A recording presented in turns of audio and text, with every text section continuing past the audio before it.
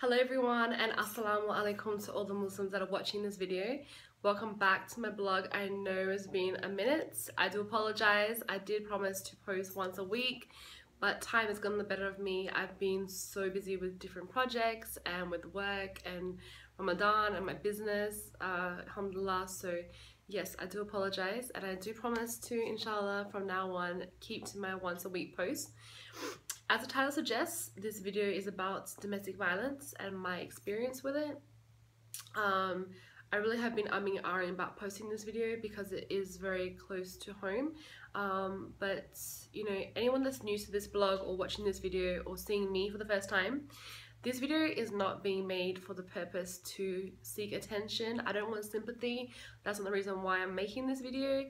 I am basically making this video to help every female worldwide that gets to watch this video, God willing, um, that is currently in a domestic violence relationship or has just come out of a domestic violence relationship.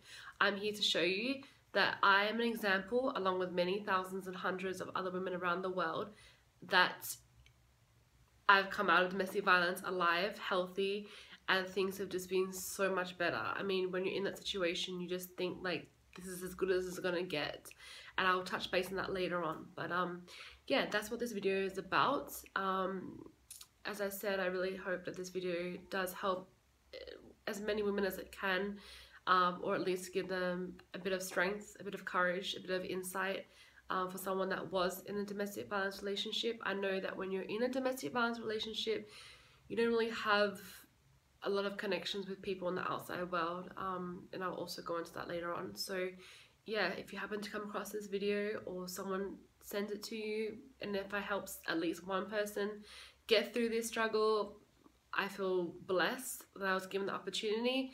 And um, yeah, anyone that has been in domestic violence relationship, I would love to hear your feedback about this video.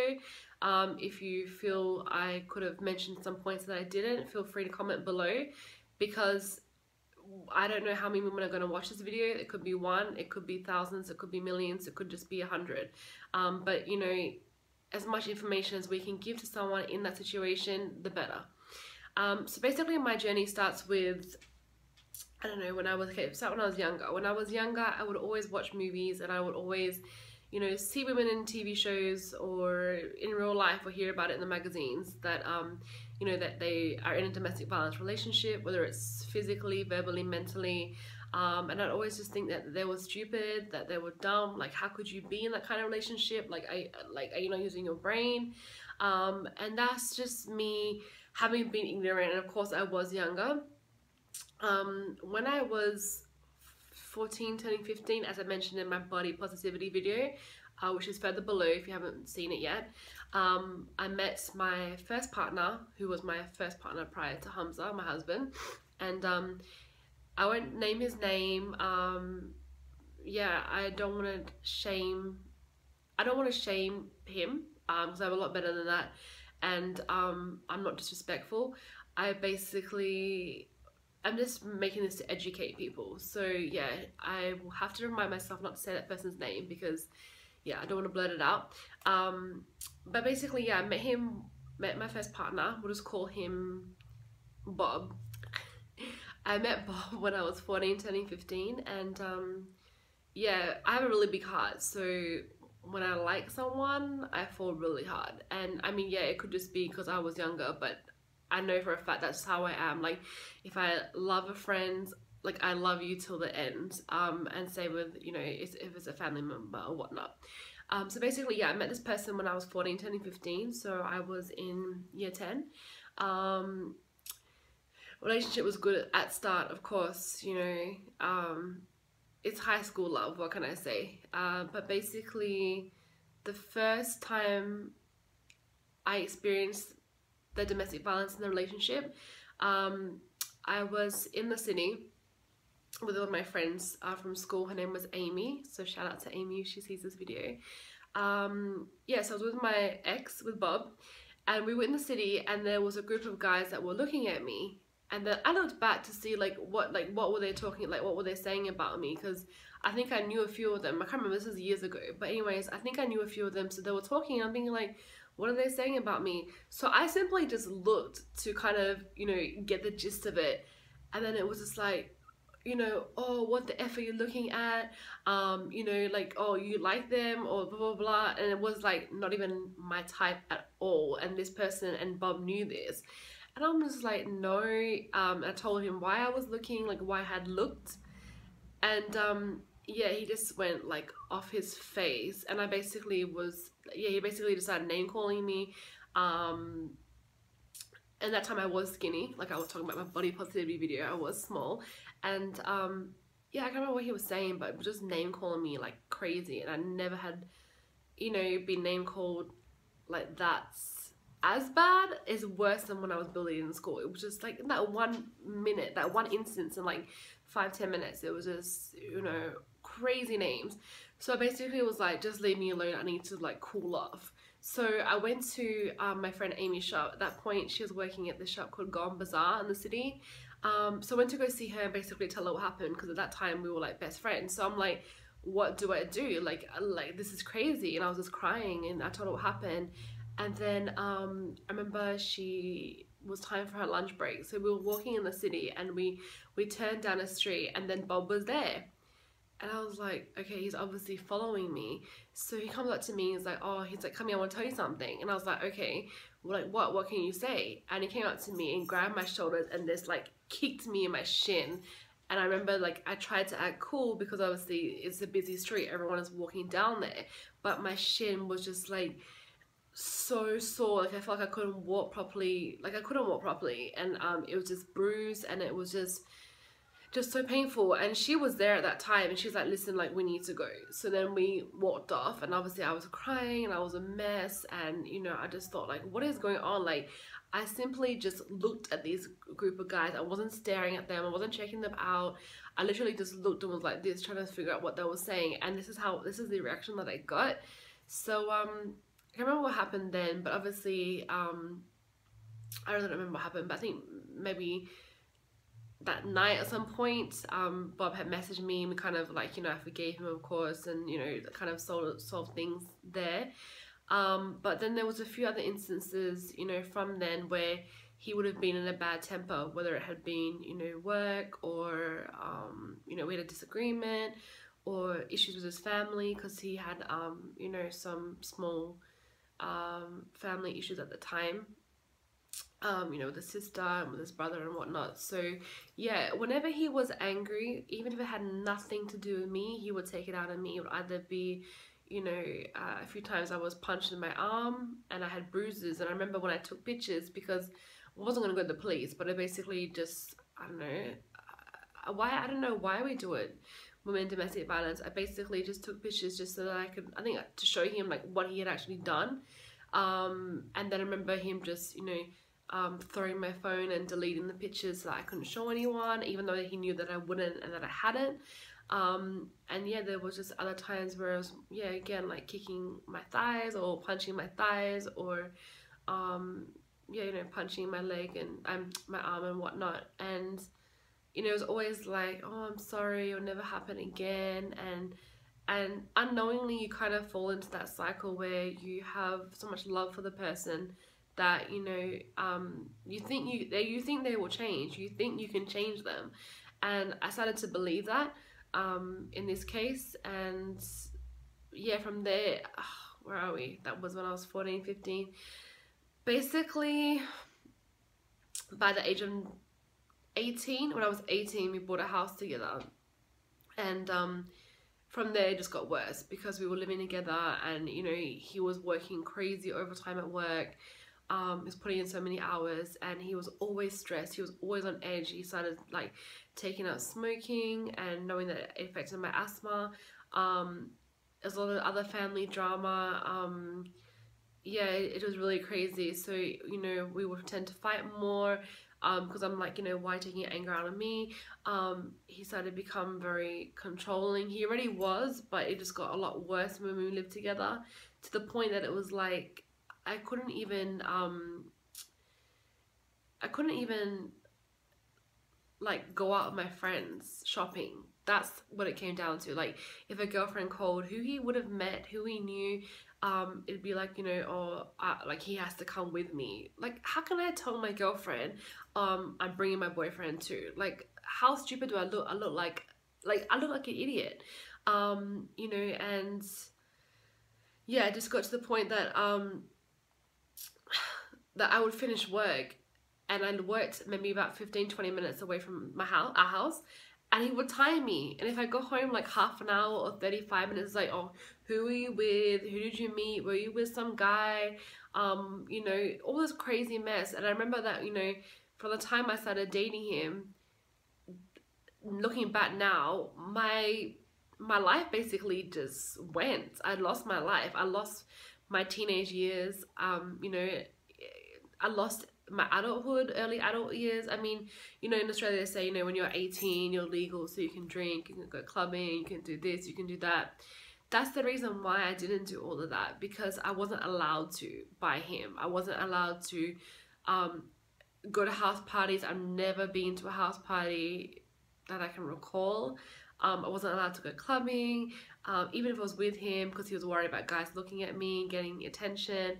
Um, I wasn't allowed to do so much stuff. Um, and, and then I was like, at that point, I was like, okay, you know what, it's okay because, you know, I have you and, and I'm serious about, you know, being with you. I want to, you know, eventually get married to you. So I don't need to go clubbing. I don't need to, um, to drink. I don't need to go to parties. Like, what's the point? Do you know what I mean?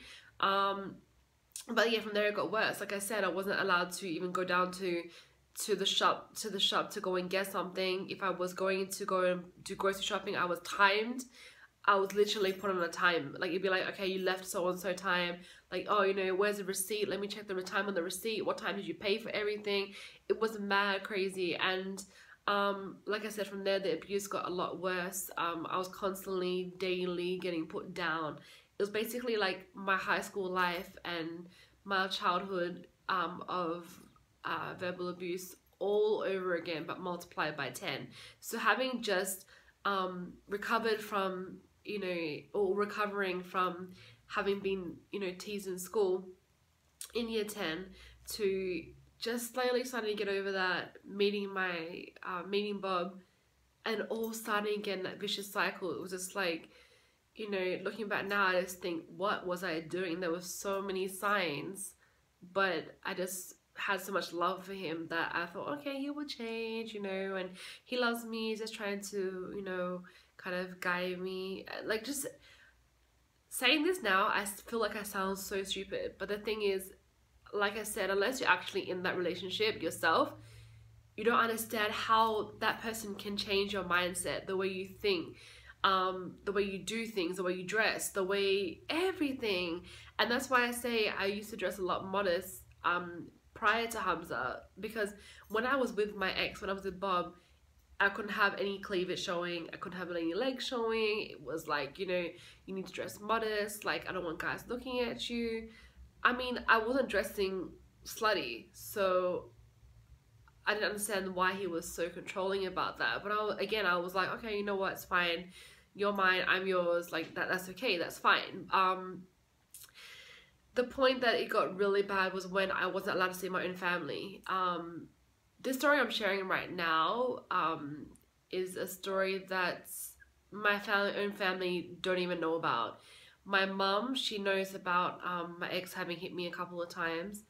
My dad, my whole family really don't even know this story. Um, the only people that really know this story is probably Hamza and, and a couple of friends. Um, but yeah, I, when I was basically not allowed to see my family, that really cut me. And I think my family kind of felt like, I think they still think that, you know, um, um, sorry. I think they kind of think that, um, I just shut them out because, because I was with Bob and that I didn't want to have anything to do with them. But, um, that wasn't the case. I wasn't allowed to see my family I wasn't allowed to associate with them. My grandparents, my mom, my dad, anyone. Um, it was really hard. And then it was that I wasn't allowed to associate with my friends. And it got to a point that I had no one. And I didn't know who to turn to. I didn't know I had no one. I didn't have this help. I didn't have anyone there that had gone through domestic violence to help me. I didn't have. I just couldn't talk to my family. I was just too embarrassed and too scared. And I didn't want to show them how much I had screwed up because this like was my first time that I had really screwed up in my life. It was a really dumb decision. And um I just felt so alone. I just felt so scared. I just hated myself. I was made to feel like that I was worthless, that I was nothing. Um, that this was my life, and then I had to deal with it. I had to accept it, and I felt numb. I felt like I didn't have the strength to get up and move, or I felt like I was paralyzed. Like I couldn't move. I couldn't I couldn't call anyone. I, I I didn't know what to do. I really didn't know what to do. I mean, obviously, yes, I prayed, but I didn't know what to do. I I'm sorry. I promised myself I wouldn't cry making this video. Um, yeah, and I just want to apologize to any of my family that are watching this video, my friends, um, for having shut them out, shut everyone out, and if you just knew what I'd gone through. There's just, it was just too much. It was so much, you know, and then, like I said, not being able to speak to any of my friends, not being able to speak to any of my family members. I was only allowed to just have him. That was it. No one else. Um, you know, it was even points that he didn't want me to see his own family. So it was just like I'm just made to what go to work, come back home, have no social life, and just you know stay home and cook and clean for you like I'm a, some house slave. Um, from there it got you know a bit more worse. There was a few times that I had to go to hospital because I was, um, I was attacked quite a bit. Um,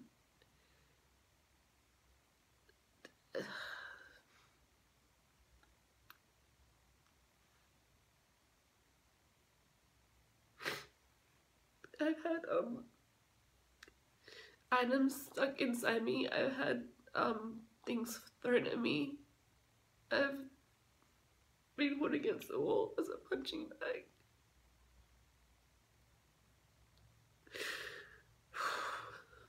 I just don't want to think about. I just don't want to think about um the injuries, but yeah, it was let's just say that there was a lot of times that um, I'm just happy that I'm still alive. I'm just grateful to God that I'm still alive. And um, if I had stayed any longer, I've, I highly doubt I would I would still be here today.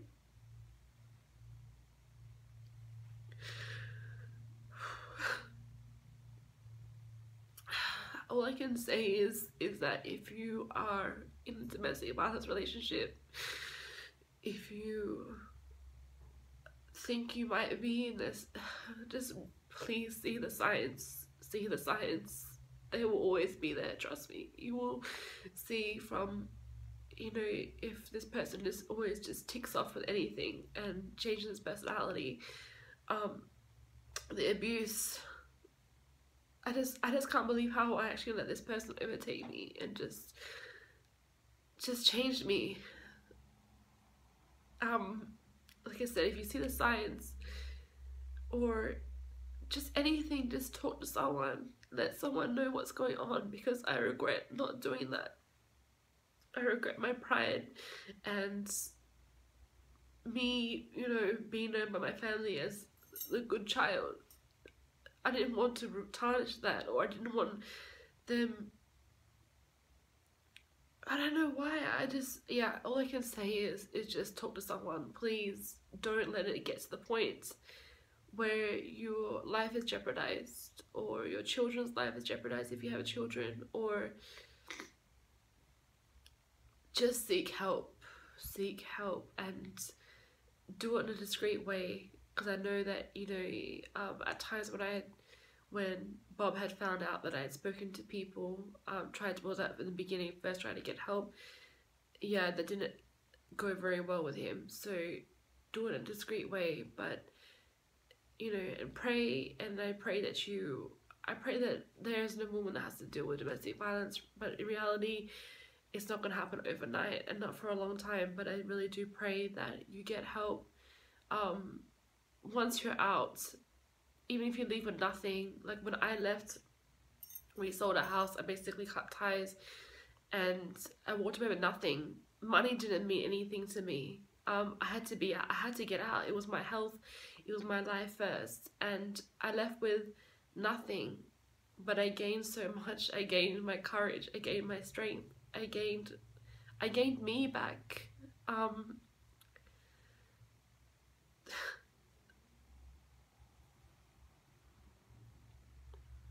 all I can say is is get help. Your life will be so much better. You won't you won't get better overnight. You takes a lot of time to heal. I'm still healing. I'm married and and I'm still healing. Um but it takes time, but you will get better. Things will get better. Your life will be so much better. I admit sometimes till recently I have to turn over my shoulder and look back to make sure that you know someone's not following me because there was so many times where Bob had stalked me after I left. I had changed I've changed my number I've had to change my number so many times. At one point it was on a weekly basis. Um